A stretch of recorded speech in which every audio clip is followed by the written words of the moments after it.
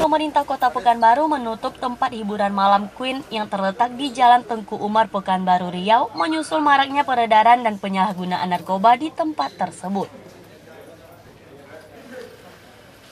Satuan Polisi Pameng Praja yang dikerahkan ke lokasi langsung melakukan penyegalan tepat di pintu masuk klub malam tersebut. Dengan adanya penyegalan itu, dapat dipastikan klub malam tidak dapat lagi beroperasi secara permanen. Karena perizinannya juga sudah dicabut oleh Badan Penanaman Modal Satu Pintu Kota Pekanbaru. Penyegalan dan pencabutan izin tempat hiburan malam Queen terpaksa dilakukan karena sudah sangat meresahkan masyarakat dan terbukti menjadi tempat peredaran narkoba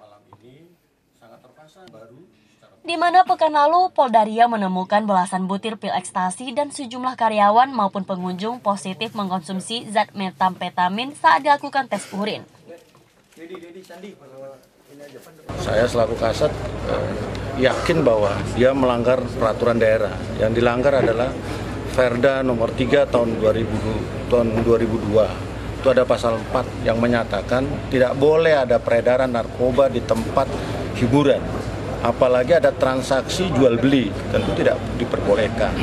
Nah, saya sudah dapat rekomendasi ini, maka malam hari kita kita segel.